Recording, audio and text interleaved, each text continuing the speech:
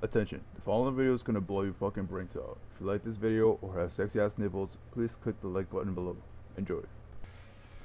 What is up guys, my name is Johnsin and as you guys may know, I am really fucking tired of Modern Warfare 3 and I'm just trying to fucking be creative and shit. So what I'm pretty much gonna be doing um, is pretty much diffusing and I don't know some random gameplays, you know, like this one. Um, I'm just gonna be running around with a ballistic vest and just knifing the shit out of people.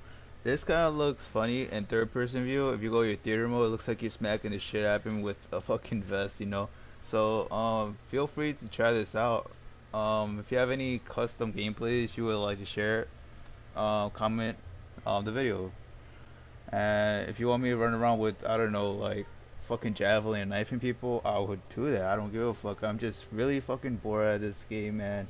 I'm just doing some random shit. I'm getting really tired of this game, so yeah, man. Because to be honest, I would rather be solving a Rubik's Cube with only using my nipples.